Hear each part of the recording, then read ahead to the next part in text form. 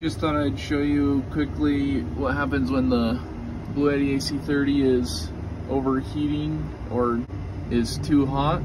Currently it's uh, 117.3 degrees inside this trailer. It's probably 100 degrees outside. I was charging this Toro battery and we got it up to three bars with how much power the Bluetti had at the time.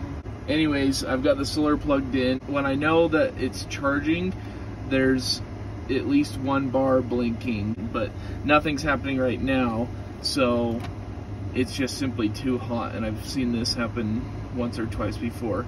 So it just needs to cool down before it can start recharging again. So I'm just gonna leave it plugged in to the solar and just leave it off and let let it start recharging on its own when it gets cooler, but probably won't happen till a lot later tonight.